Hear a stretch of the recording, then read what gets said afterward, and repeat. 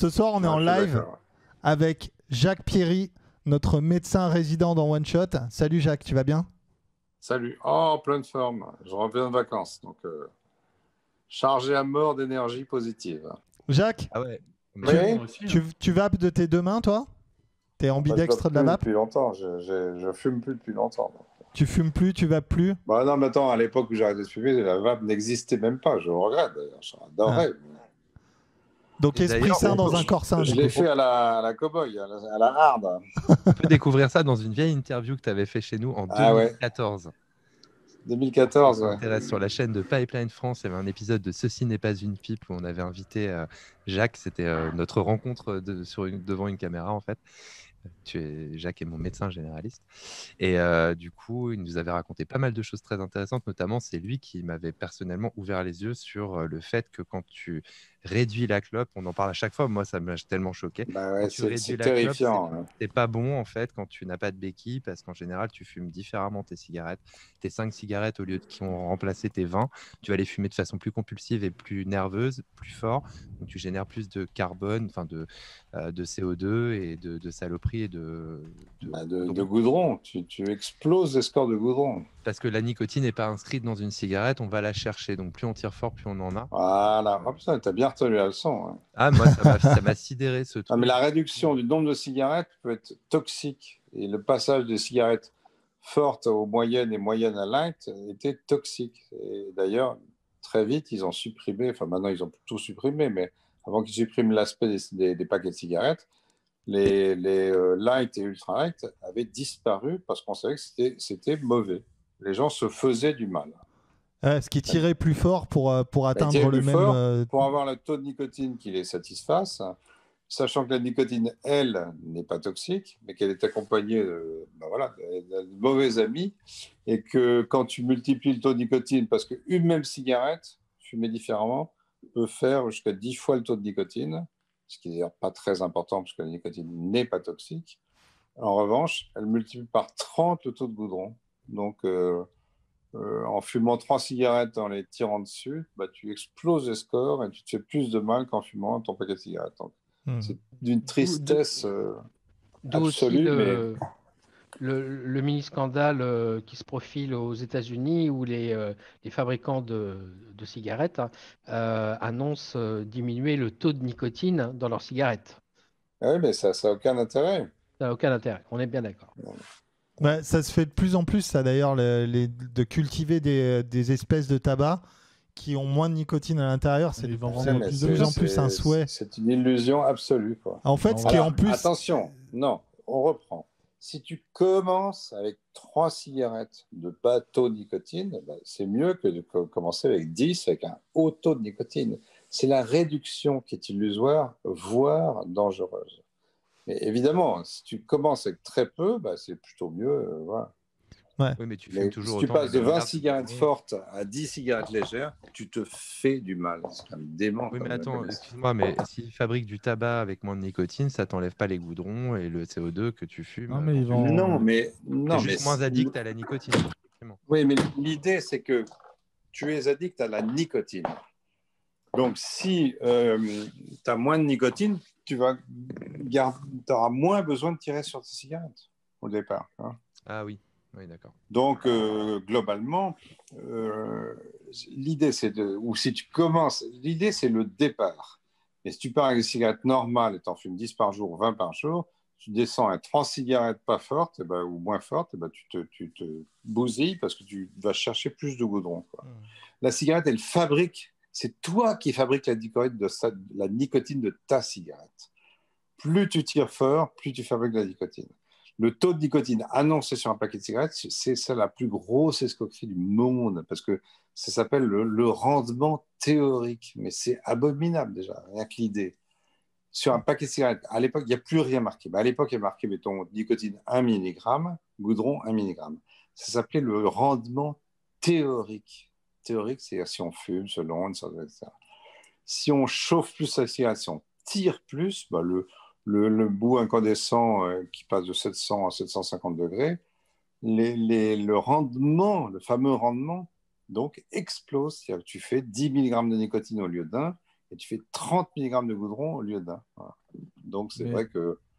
Est-ce qu'il n'y a pas un risque, du coup, avec une baisse de nicotine dans les cigarettes, les, fumeurs se retrouvent à fumer plus de cigarettes dans la Bien sûr, ou plus de cigarettes, ou ils tirent plus parce qu'ils fabriquent la nicotine. Ouais. ouais. Ils vont, ils vont titrer la nicotine, leur je reprends ma, ma démonstration. La nicotine n'est pas toxique, elle est même vertueuse au sens pharmacologique, sauf qu'elle est mal accompagnée. Et tu peux pas séparer les deux. Si on pouvait avoir que de la nicotine pure, tout irait bien. Tu peux, il y a la vape. Ben voilà. C'est bien pour ça que, après euh, un examen minutieux du dossier et, surtout la lecture de différentes. Euh, c'est pas, sais pas à moi tout seul, j'ai décidé que la vape était bonne par rapport à la cigarette. C'est après quand même des concertations, notamment. Euh, il n'y a pas très longtemps, je crois qu'il y a un ou deux, il y a un congrès de, de pneumologues qui a vraiment assuré le truc. C'est-à-dire c'est c'est 1 versus 100. Quoi. On n'a jamais, personne n'a prétendu que la, que la vape était totalement innocente, mais enfin, j'ai dit toujours, vous, échangez une certitude d'un risque absolu énorme contre une hypothèse d'un petit risque. Ben voilà, qu'est-ce que tu choisis Il n'y a pas de débat par rapport à ça. C'est une évidence absolue et qui est confirmée par le temps. Puis maintenant, on a quand même du recul parce que au, au départ, on est parti sur oui, mais que ça cache, qu'est-ce que c'est, etc. Bon, on ne sait pas exactement ce que ça cache. On sait que maintenant, ça fait quoi? Combien de temps? 10 ans que ça, ça existe, la vape? Ouais, 10 ans, euh, 10 ans et toutes ses dents. Mm. Voilà, 10 ans, ça commence à donner un peu de recul, un peu de garantie par rapport au fait qu'on n'a pas découvert, euh, malgré tout ce qu'on a pu chercher comme noise à cette pauvre vape, euh, rien n'a été découvert en dehors de petits inconvénients qui ont été identifiés assez vite et qui n'ont jamais été transformés en choses graves. Enfin, Vraiment, le, débat n'a même pas lieu d'être. C'est tout sauf le tabac.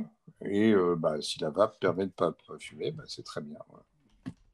Après, l'idéal, c'est de rien prendre du tout. Mais bon, euh, euh, on est quand même sur des, niveaux de gravité, niveaux d'intensité, niveaux de, de, trucs qui sont tellement différents qu'il n'y a aucune, aucune, aucune hésitation par rapport à la, à la vape euh, versus le tabac. Quoi. Ça, met, ça donne le ton pour ce soir. On a compris que tu étais euh, quand même assez favorable, enfin même très favorable à la vape. Et tu es plutôt bien informé je, je sur, sur, ce sujet. hostile à la cigarette. Tu es, surtout très hostile à la clope. Et c'est bien. Je suis tellement hostile à la clope que, que, la vape étant une alternative possible, évidemment que, que je suis favorable à tout ce qui peut aider à ne plus fumer du tabac c'est quand même simple et clair. On a un auditeur qui est monté avec nous pour te poser une question. Salut Pierre. Ça va bien Salut tout le monde. Ça va Tu avais une question à poser à Jacques. Euh, oui, j'avais une question. Alors, c'est un peu une question plus euh, généraliste euh, sur la médecine quand, que pour la santé à proprement parler.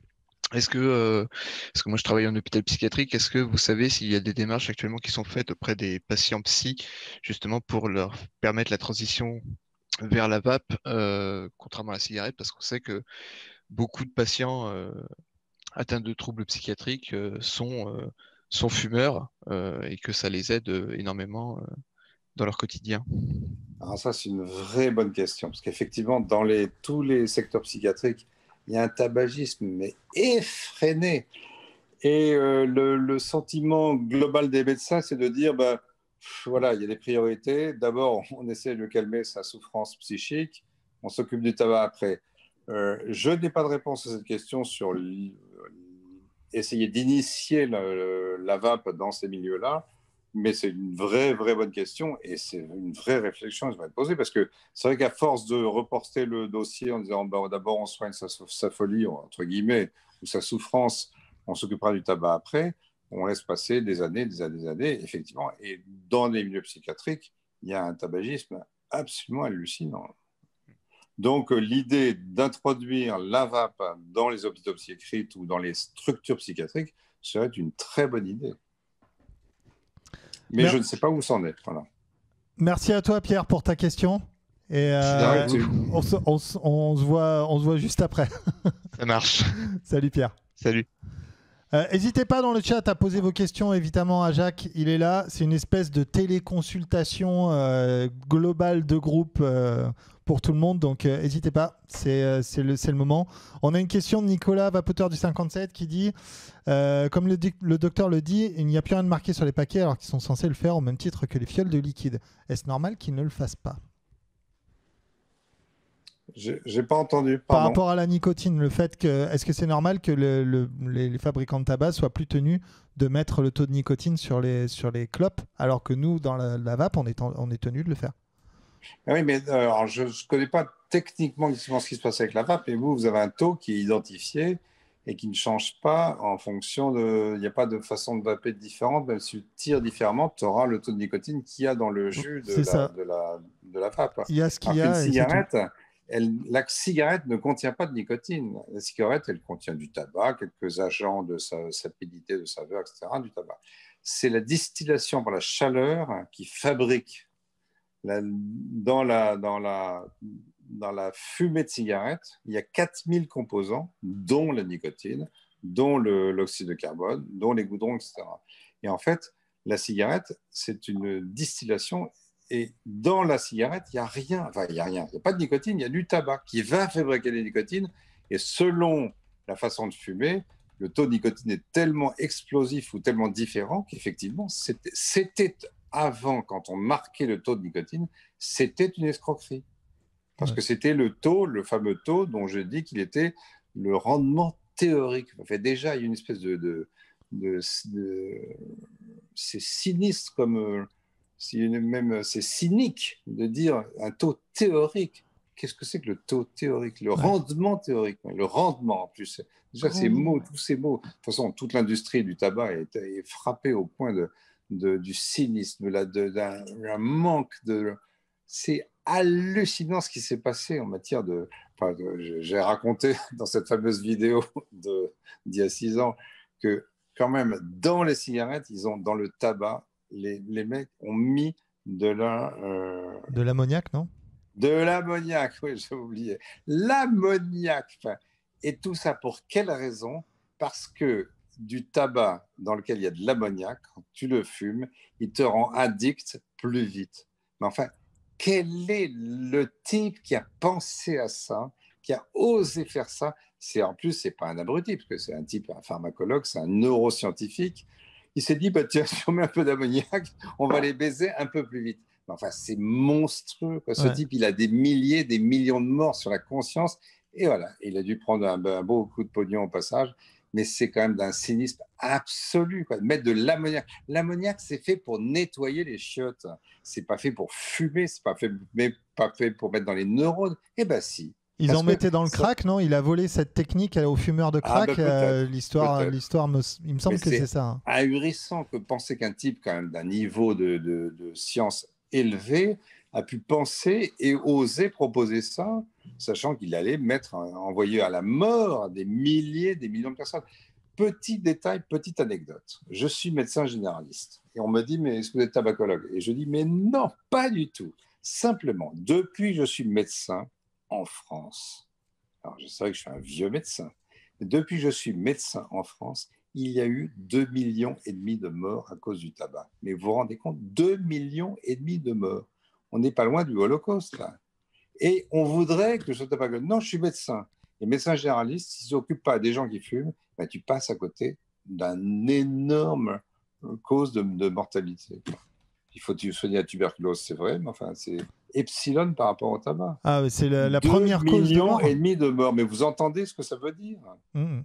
Depuis que je suis médecin, moi, Jacques Pierry, 2 millions et demi de morts à cause du tabac, purement à cause du tabac. Mmh. Donc c'est colossal, c'est monstrueux. Donc il faut lutter de toutes parts, de tout. De, et la vape est quand même une, arme extraordinairement efficace donc euh, voilà, je suis pour. Je suis pour aussi l'arrêt du tabac dans d'autres circonstances. Je suis pour les, les, bâtons à la nicotine. Je suis pour le, le, fait de mordre l'oreiller pour pas fumer. Je suis pour tout, mais bon, voilà, notamment pour la vape. Ok. Tous les, tous, les euh, moyens d'arrêter le tabac se valent selon toi ou il y en a certains qui bah, sont plus efficaces que d'autres? euh, Ce qu'il faut bien comprendre, c'est que chaque, enfin, beaucoup de gens fument, enfin, chacun fume à sa façon, chacun s'arrête un peu à sa façon le, moyen qui vaut et qui vaut bien, c'est celui qui est efficace et, qui permet de pas trop souffrir. Alors globalement, on a bien compris que la vape avait vraiment un succès, un taux d'efficacité assez important, que ça permettait un sevrage en douceur. Enfin, ça, a quand même beaucoup, beaucoup de qualité. Je suis, la seule chose euh, à laquelle je suis un peu hostile, un peu hostile, et encore, ce sont les médicaments, parce qu'il y a eu deux médicaments qui ont été proposés pour le, la sevrage tabagique, euh, qui ont été le, je sais plus, le, le Champix. Ouais. le, deuxième Champix. Il y a eu le premier, premier avant qui est le. Le Ziban. Le Ziban, très fort. Et euh, si tu sais pas, tu nous demandes, un Jacques. Hein. Pardon si tu sais pas. Oui, si, je sais pas, je te demande. qui dans, la série, euh, dans la série j'ai testé pour vous, euh, ça m'a fait péter un câble. Hein. Oui, c'est ça. Bah, oui, bah, il y a eu le Champix idem. Champix idem, il y a eu beaucoup, beaucoup, beaucoup d'effets secondaires. Après, quand les gens m'ont dit, bah, écoutez, je me suis arrêté grâce au Champix, je dis, bah, vive le Champix. Mais globalement, c'était quand même très risqué. Euh, et puis, ce sont des, choses qui modifient la structure mentale, donc euh, c'est quand même un peu chagrinant. Donc, euh, bon, après, quand les gens se sont arrêtés grâce à ça, je ne peux rien dire. Je leur dis bravo, et, tant mieux. La seule chose qui va, c'est de s'arrêter.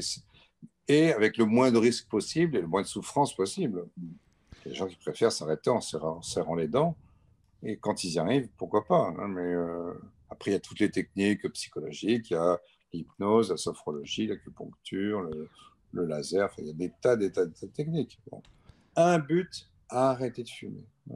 Pourvu que ça marche, entre guillemets. Pas arrêter, pas en fumer une ou deux ou deux ou trois. Walou, zéro, Zébi, que dalle. Walou, zéro. C'est bien ça. Ouais. Ça, c'est bon. On a Barbu qui dit dans mon sport, certains types se claquent de l'ammoniac dans le pif pour se mettre un coup de fouet à, la tronche avant une charge super lourde. C'est pour dire les poumons, ça doit être cool, mais c'est des sels d'ammoniac, hein, c'est ça? Non, c'est pas la meilleure idée du monde. C'est des sels d'ammonium, ça. C'est des sels d'ammonium, ouais. C'est pas tout à fait la même chose. C'est pas de l'ammoniac. C'est pas de l'ammoniac. C'est pas la même chose, mais alors ça, je connais pas, je suis pas trop fort en, en fait. Ça provoque un shoot d'adrénaline, en fait. Ça, ça, excite, ça, excite le corps et du coup, on se prend un shoot d'adrénaline. C'est utilisé en muscu. Euh. Je, suis sais, pas sûr que c'est la meilleure idée du monde, mais enfin. Il n'y a pas d'effet dangereux. Enfin, c'est que pour ceux qui ont des, des, petits problèmes respiratoires, ça peut irriter un peu les, les parois nasales. Ouais. Écoute, je ne je, suis, pas, je suis pas compétent. tu, euh... tu sniffes pas des sels d'ammonium avant les consultations, non. du coup? Non, moi je le, fais, je le sais parce que j'en ai, on appelle ça un nose torque. J'en utilise de temps en temps. Ah, d'accord, ok. Mais faut ça, c'est du ça. poppers. ça n'a rien à voir. ouais, ça, ça dépend du moment, mais une fois je me suis gouré, j'ai utilisé du poppers à la muscu, c'était moins marrant. Ah, bah, ça dépend, ça, dépend. Ça, ça muscle pas les mêmes muscles. Ça salit le bon muscu. Non, bah non, c'est juste la barre, elle est bien rentrée, quoi. Ah oui. Laquelle? Putain, Brice. C'est ce qui est utilisé aussi pour les mecs qui ont fait un KO pour les réanimer? Ouais, voilà. Euh, blablabla. Bla, bla, bla, Qu'est-ce qu'on avait comme question On avait. Euh, ah ouais, est-ce que la vape pourrait servir de vecteur pour d'autres molécules aux bienfaits avérés? Selon toi alors, est-ce que la vape. Alors, quelles sont les molécules qui pourraient être inhalées et qui seraient des bienfaits? Ben Alors, à ce moment-là, c'est un, c'est un, inhalateur, euh, c'est, plus de, c'est plus de la vape. De toute façon, les, la, la L'utilisation de microparticules pour soigner les poumons est très utilisée depuis très longtemps, mais ça s'appelle des. Je sais plus comment c'est, porte un nom. Un nébuliseur. Un nébuliseur. Euh, ouais, non, ça porte un euh, nébulisateur, enfin, c'est des trucs pour soigner. Ouais, ou un aérosol. Aérosol, voilà. Putain, je suis fatigué, je rentre de vacances. Là. Donc l'aérosol, bah oui, l'aérosol thérapie, c'est utilisé depuis longtemps, mais on n'a pas besoin de la vape pour ça. Ouais. Ouais, il y a déjà, il y a déjà des bah, Il y a déjà des appareils qui sont très au point pour vaporiser les antibiotiques, la Non, mais si ça peut rendre ça moins, mm. euh, moins médical, c'est peut-être. Ah oui, pour, pour quoi. Bon. Oui, enfin, on peut, peut, même imaginer, mais enfin, franchement. C'est dangereux selon toi de, de justement oui, de rendre sauf, ce sauf truc trop a... accessible? Sauf qu'il y a une limite. Pardon? Est-ce que c'est, ce serait un comportement dangereux, genre une, un effet pente glissante, d'avoir d'autres molécules que la nicotine dans la vape Par exemple, dire ah bah moi j'ai envie de, je sais pas, moi, me déboucher le nez, euh, je vais mettre de l'eucalyptus. Ah moi j'ai envie de, tu vois, j'ai les jambes lourdes, je vais mettre du tilleul. quoi. C'est interdit déjà. Oui, mais si ça, si ça devait être autorisé, est-ce qu'on oui, n'aurait enfin, pas un effet un peu a glissante là-dessus euh, Pour, pour l'eucalyptus, tu as des trucs pour le nez qui sont très bien, qui marchent très bien, qui sont en plastique et tu fais deux pchits dans le nez, pas à peine de, de mettre dans la vape. Mm. Je sais pas pourquoi vous compliquez le dossier. non, la vape a déjà son, son, sa voix royale, qui est celle de, du sauvage tabagique. C'est déjà pas mal.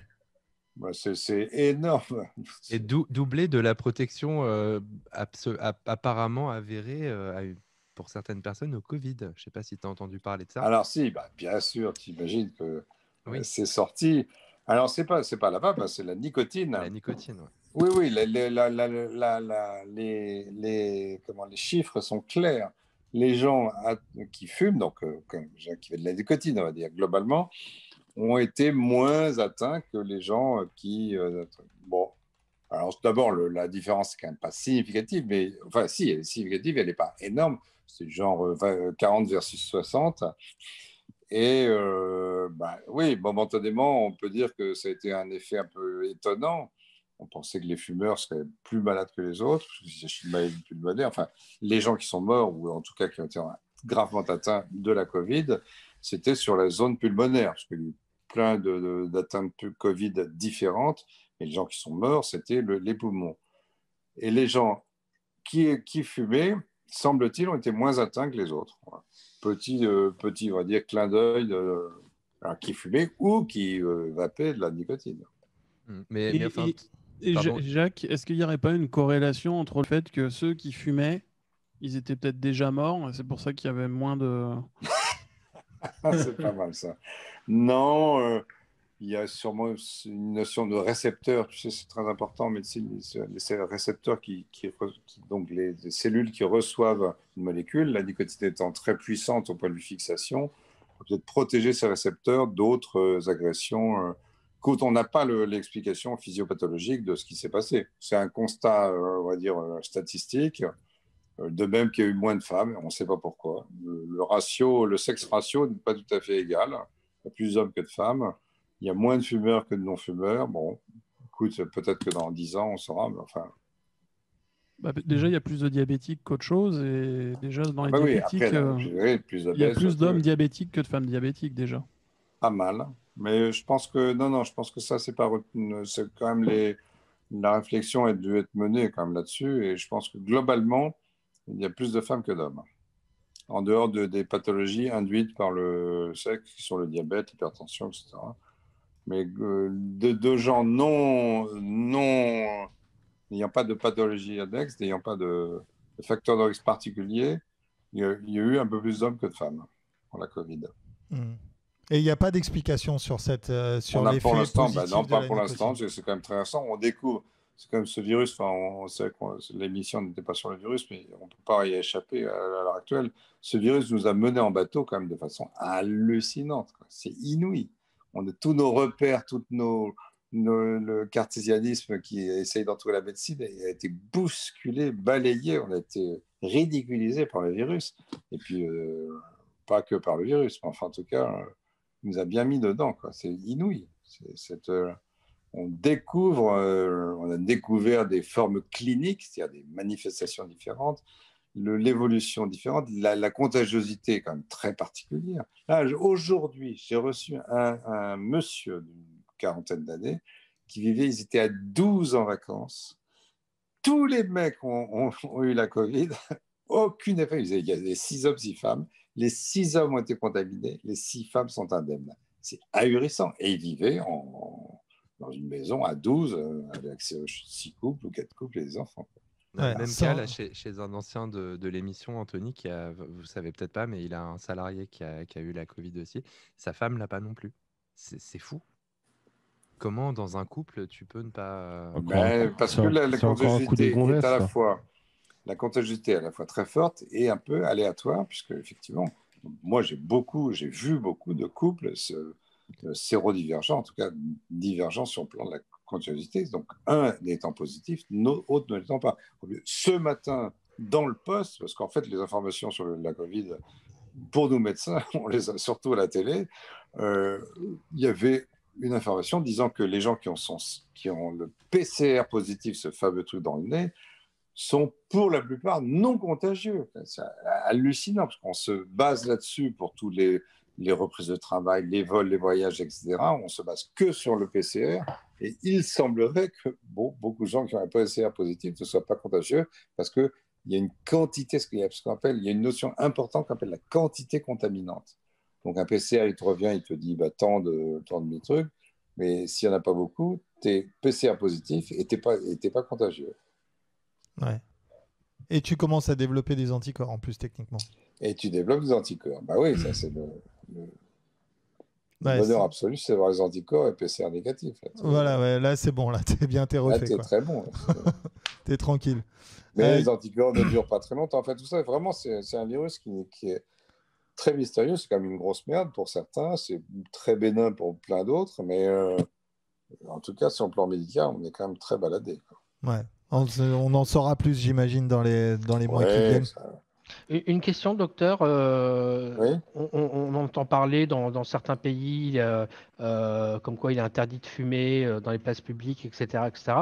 la vape peut être potentiellement considérée, on va dire, comme émission, vapeur, etc. et potentiellement porteuse de, du, du, virus. Quelle est votre position là-dessus?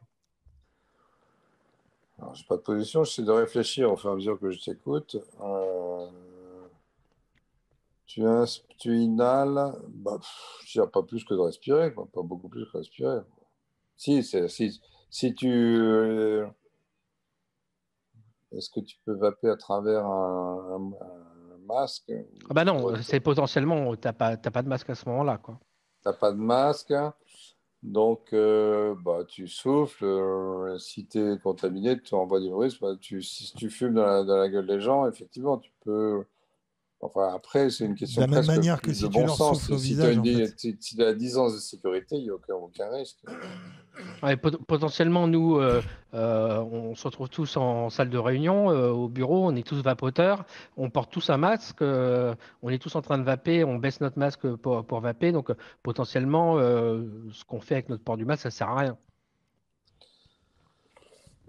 Bah, si vous êtes tous en train de vaper en même temps et que vous n'avez plus de masque, et ben, là, j'ai une question, on va dire, presque de distance si tu si es vraiment tout près et que tu envoies la fumée de ta vape dans le, nez de quelqu'un, cette fumée peut contenir effectivement les virus pulmonaires de, si tu es, si positif, si tu es porteur.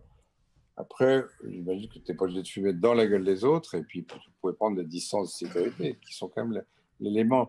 Il y a deux choses qui sont fondamentales et qui sont, elles, incontournables, distance de sécurité et euh, masque. après, il y a le lavage, évidemment, mais en matière de, de fréquentation, de co-fréquentation ou de bureau ou de, réunion, etc. Distance, distance de sécurité ou masque. Quand il y a les deux, c'est parfait. Mais si, si tu enlèves ton masque pour fumer et vaper, et que l'autre est à 1m50, bah, sauf si tu vois, on fait exprès de souffler fort dans la gueule. Mais là, après, on, est dans l'histoire du bon sens, qui reste un élément important qui a souvent été bafoué ces, ces derniers mois. Il y a une question de Rémi Duff dans le chat qui dit Contrairement à mes autres sensations qui sont toutes revenues après mon passage à la vape, je n'ai jamais retrouvé pleinement l'usage de mon conduit nasal. Est-ce normal?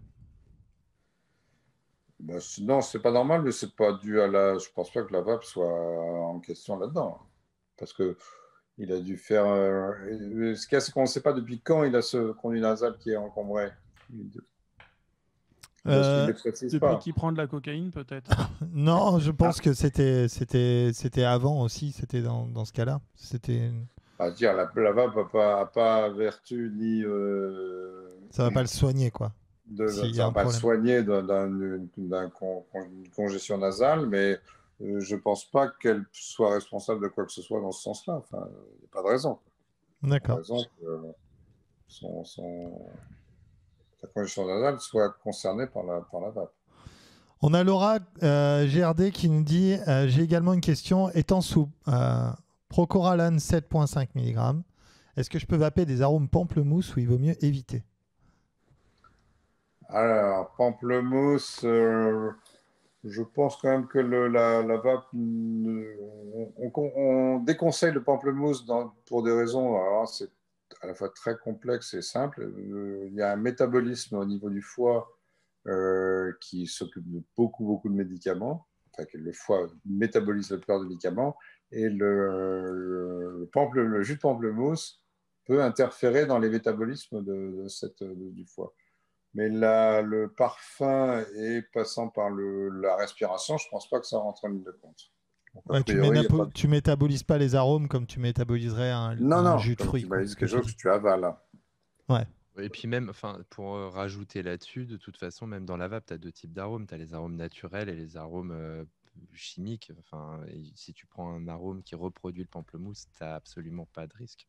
Oui, ça, ah bah, ça oui, absolument. Donc, s'il n'y a pas d'utilisation d'arômes naturels, à mon avis, tu effaces tout risque. Même s'il y en avait un, il n'y en aurait plus du tout. Puisque là, quand, on n'est pas pharmacien, c'est quoi ces médicaments? Le cœur, non euh, bon, il y, a énormément de médicaments qui sont euh, dans, dans pour lequel le, le, le, jus de pamplemousse, et alors, je ne peux pas donner la liste, mais euh, c'est marqué hein, quand, quand, tu prends un médicament, tu dois éviter le, le pamplemousse qui, avait cette vertu jusqu'à présent, toujours, d'être bon pour la santé, plein de vitamines, etc. Mais on peut prendre du jus d'orange en revanche. Les, les contre-indications sont liées au pamplemousse et non pas aux agrumes. Ok. Il y a certaines euh, pilules, certains, certains, antibiotiques, certains. Euh, enfin, bon, les hypertenseurs surtout. Oui, il y a. Y a enfin, voilà, faut, faut, de toute façon, en général, c'est marqué. Et. Euh, le, le, la vape pamplemousse, franchement, je ne vois, vois, pas la contre-indication. Euh, on avait une autre question aussi par rapport à la vape et à la grossesse. Euh, récemment, il y a eu un article qui a été publié, une grosse étude euh, qu'on a abordé un petit peu dans One Shot. Qui, qui montrait qu'il y a eu beaucoup de fausses informations qui étaient données aux femmes enceintes qui souhaitaient arrêter de fumer, à qui on déconseillait la vape et on leur disait finalement bah écoute, fume une ou deux clopes, ça vaut mieux pour le bébé que tu sois pas stressé, te mets pas à la vape et puis fais comme ça, ça ira très bien. Et en fait, il y a beaucoup d'études qui montrent que même ces deux simples clopes sont très néfastes pour le pour le pour l'enfant et euh, que du coup c'était une espèce de légende urbaine qui était un peu propagée par les gynécologues. On en a parlé un petit peu dans One Shot. Est-ce que tu as touché un petit peu ce, sujet ou pas du tout? Alors, vape et grossesse. Vape et grossesse. J'ai pas touché en particulier.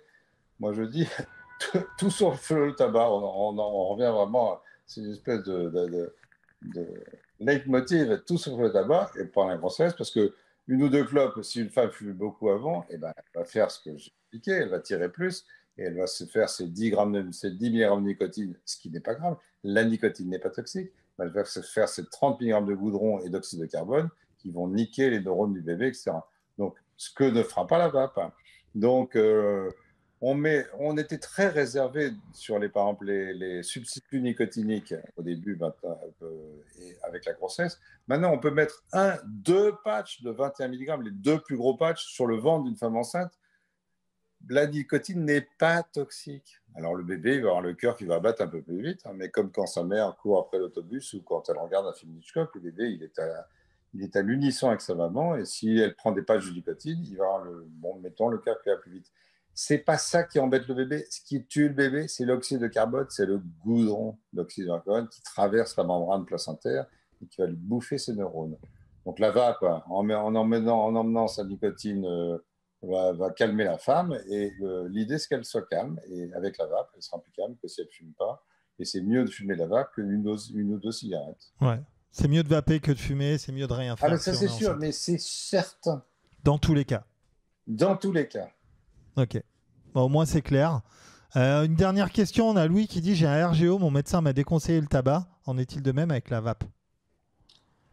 Alors, c'est sûrement euh, un des inconvénients de la vape, c'est les petites irritations gastriques et, euh, des gencives. Euh, bah là, il a qu'à essayer. Il verra bien, c'est quand même très, très. Le RGO, bah, c'est un reflux gastro-œsophagien, c'est l'acidité qui remonte et qui brûle au niveau de, l'œsophage. il saura très vite si en fumant la vape, ça, c'est moins. a priori, je dirais que c'est moins toxique. Et là, je ne peux pas répondre clairement, mais le, plus simple, c'est qu'il essaye. Et s'il n'a pas mal à l'estomac, s'il n'a pas de, reflux, ben, il peut continuer à vaper. Je dirais la, la présomption est plutôt favorable pour la vape à ce, niveau-là. Non, il prend du Gaviscon. Hein. Ah bah oui, bah, Gaviscon, Malox, tous ces médicaments. J'ai une hernie hiatale, j'ai aucun problème avec la vape depuis 6 ans, hein, c'est pas un problème. Eh ben voilà. moi j'en aussi des des RGO, si tu vas beaucoup, beaucoup, et par exemple, ce que nous on appelle chain VP, c'est-à-dire tirer plusieurs lattes très fortes d'affilée, oui, tu peux avoir des, des reflux, ça m'est déjà arrivé. Mais bon, voilà, il suffit de modérer un peu ça. Oui, ben, tout, là, on, rentre dans le, dans le cadre de ce qu'on appelle le bon sens.